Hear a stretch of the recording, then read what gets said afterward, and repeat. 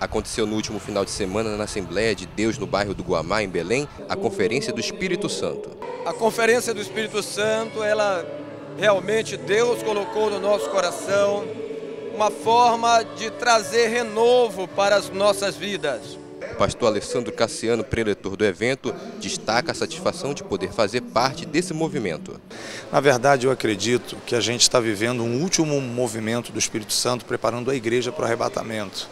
E eu me sinto muito feliz de estar participando desse movimento do Espírito Santo é, no Brasil e em outros lugares. Centenas de pessoas participaram do evento, jovens, homens e mulheres com o mesmo objetivo, ser cheio do Espírito Santo.